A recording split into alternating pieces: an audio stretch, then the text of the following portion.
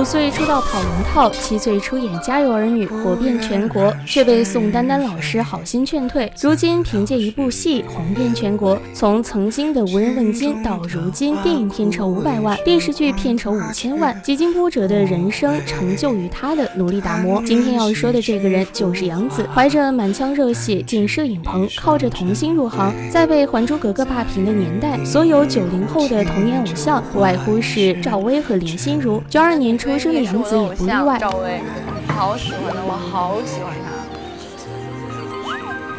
她是我儿时的偶像，一直到现在。我演戏都是因为他。是啊，我就说你也像小燕子，我觉得你特别适合演小燕子。因为太过热爱这部戏，太过喜欢赵薇，杨紫爸爸决定每周带着杨紫去少年宫学表演。偶然一次机会被导演相中，通知杨紫去试戏。作为新手的演员，那时候他还只有五岁。不出所料，也理所当然的出演了一次群演，不起眼且不怎么重要，但只是这么一次龙套，也让五岁的小杨子兴奋不已。大冬天的凌晨就在剧组排队，感觉离偶像更进一步。和大部分明星一样，杨紫也是先从跑龙套做起，慢慢混熟了剧组，才有了点说话的小配角尝试。因为有了扎实的基础之后，才在众多童年孩童中脱颖而出，获得了《家有儿女》的夏雪一角。当时剧组面向全国征集演员，导演找了很多人试镜，都不太理想，这让有一定演艺基础的杨紫获得了机会，这也成为了她人生的一个小巅峰。二零零五年，电视剧《家有儿女》横空出世，剧中扮演高中生夏雪的杨紫第一次进入观众视线，人们见到她都会喊夏雪，大街小巷无人不知，无人不晓。巅峰及低谷，夏雪成就了杨紫，让她成为了家喻户晓的明星，同时也成为了杨紫的标签。标签感太强，撕不下来，以至于她没办法再接到其他类型的戏。大家都认识杨紫，但是名声更响亮的是夏雪，她被局限在了这个角色里。在《家有儿女》之后，她能拍的都是些孩童角色，或者是披着夏雪名头的广告片。已经高中即将升大学的杨紫变得自卑又敏感，过了一段很压抑的青少年时光。我说服自己去演了很多烂戏，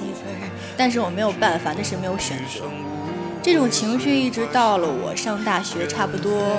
大。作为半个妈妈的宋丹丹老师给杨紫的意见也是另谋出路，认为她不适合当演员。你长成这样，妈妈劝你一句，还是别演了。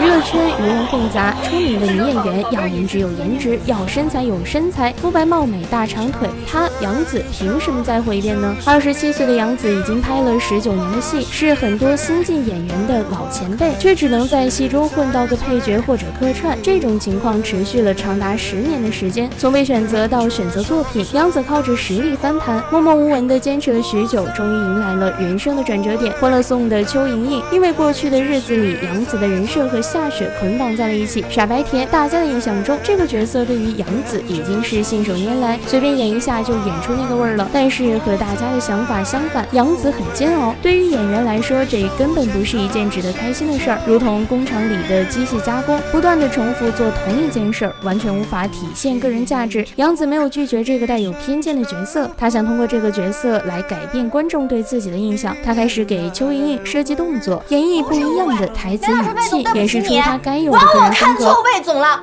原来魏总跟那个白渣男一样，都是垃圾货色。功夫不负有心人，在电视剧播出之后，观众看到了一位全新的杨紫，她用实力拍出了角色的效果。从一开始的愚蠢无知引起众怒，全民在骂，到后来自主创业，大家又看到了邱莹莹乐观向上的一面，开始反观自己，能用角色调动起观众的情绪，把角色演活，这无疑是很成功的。凭借着《欢乐颂》，杨紫获得白玉兰最佳女配角奖和金鹰奖观众最喜爱的女演员奖，奖项来的实至名归，同时也重新走进观众视线，再火一遍。跟紧其后的《香蜜沉沉烬如霜》在播出之后，拿下全国同时段收视率第一，网络播放量破一百一十五亿，实力打破宋丹丹老师的预言。从前是宋丹丹老师带着演戏，现在她的孩子们成才了，可以带着宋丹丹老师演戏了。杨紫的戏路越来越广，她成为了流量担当。很多人都只知道童星出身的杨紫，不知道她低谷时期的落寞，没有老天爷赏饭吃的脸蛋儿，也没有锦鲤体质的运气，一步一步都是曾经种下的结果。她不凭外貌，不凭背景，凭借自己的功底逆袭了自己的人生，这也是我喜欢她的理由。不要觉得自己很